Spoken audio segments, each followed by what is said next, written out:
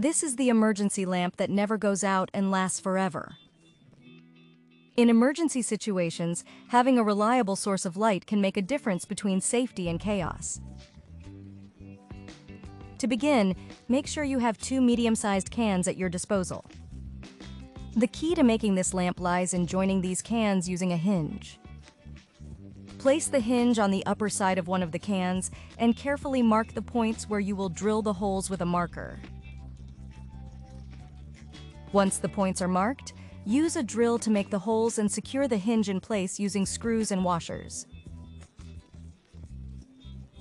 Repeat this process on the other can so that both are joined so that they can open and close like a door.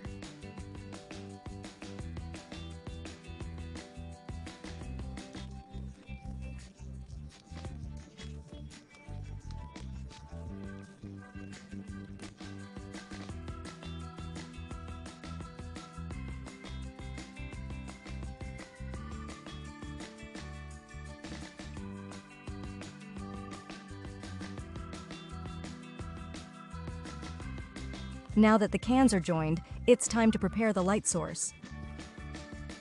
Start by creating a homemade candle. Take a small container and add a tablespoon of salt followed by water until it is filled. This salt solution will help the can last longer and not disintegrate with the fire. Soak a 15 centimeter can in this solution for a few minutes to soak well. Then we will take a container for lid pills and make a hole in the lid using the drill.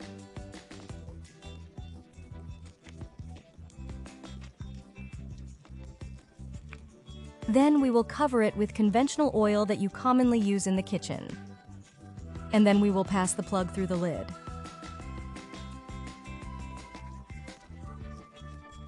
And with this, we will have the candle ready.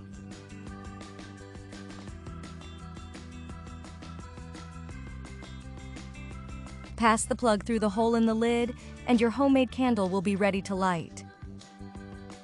Returning to the cans, make two holes in the upper part of the upper can with the drill.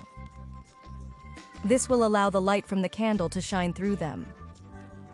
Place the candle inside the can, making sure it is stable and well positioned.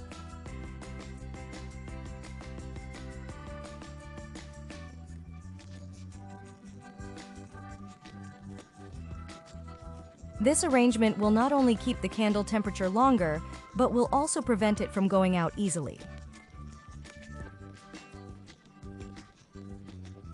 In addition, the hinge will allow you to close the can if you wish, which can add a decorative or romantic touch to the room.